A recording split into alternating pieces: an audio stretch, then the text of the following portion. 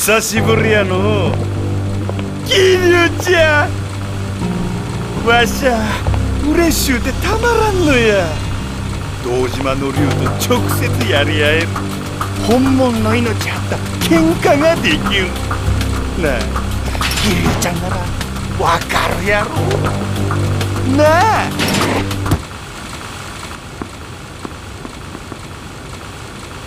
フ フ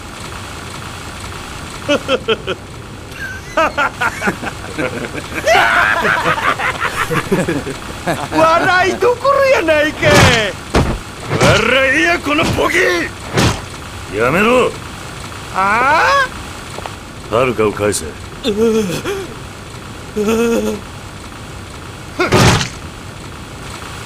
別にええで。そこのドア入ったとこにおるわ 言うたやろ？桐生ちゃんわしゃお前と勝負できりゃそれでええんじゃ。本気で言ってるのか？本気も本気。大マジや。なあもうこれ以上じらすなや。キルちゃん行くで。勝負や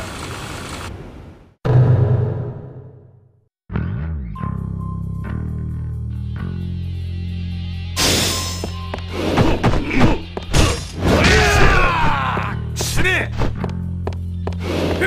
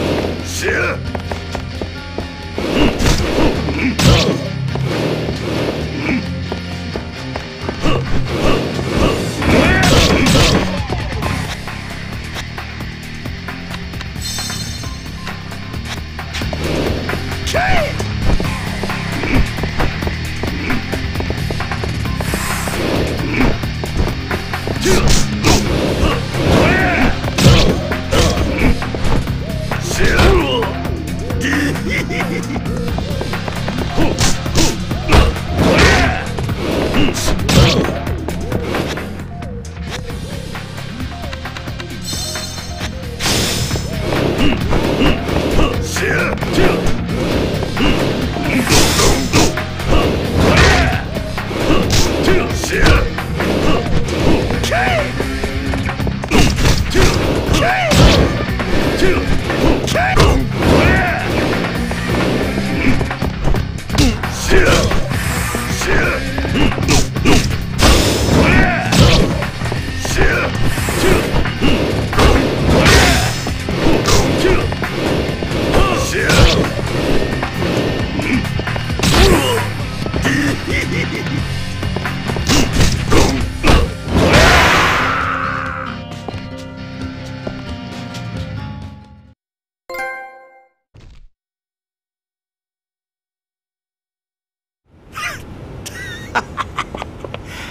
やっぱりごついでお前は。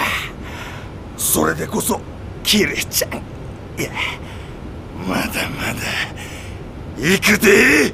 勝負はついた。遥かを返せ。アホ。死ねや桐生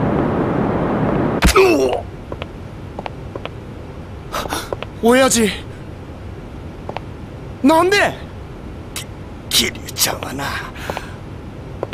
俺の獲物や。このこいつをやるのはわしだけなんじゃ真島。親父親父！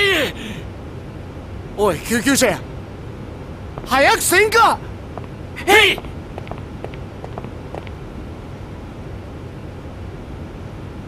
おじさん遥か？怖かった。怖かったよ。遅くなったな。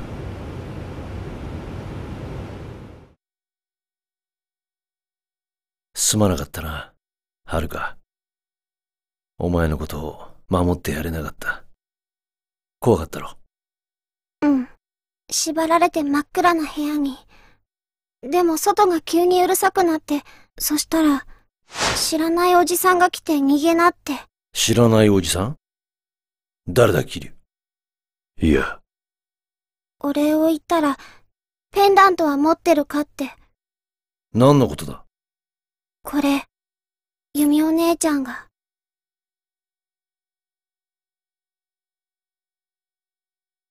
お母さんはでお母さんに会えないの？ごめんね。嫌だよ。お母さんに会いたい。弓お姉ちゃんお願い。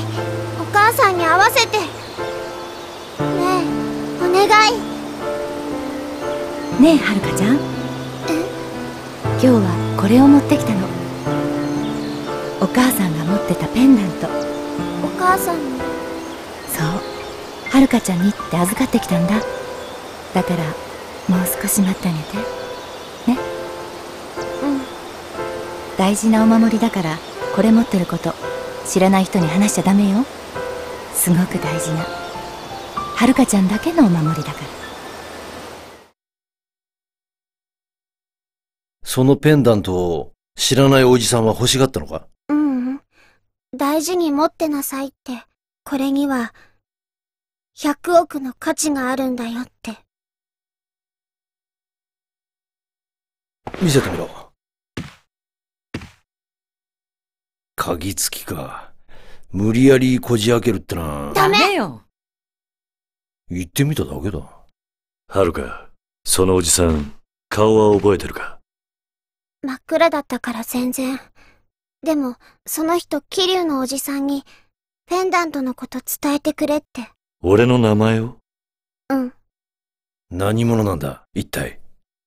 さあな。一つだけ確かなのは、俺たちはいつの間にか、事件の中心に置かれていたってことだ。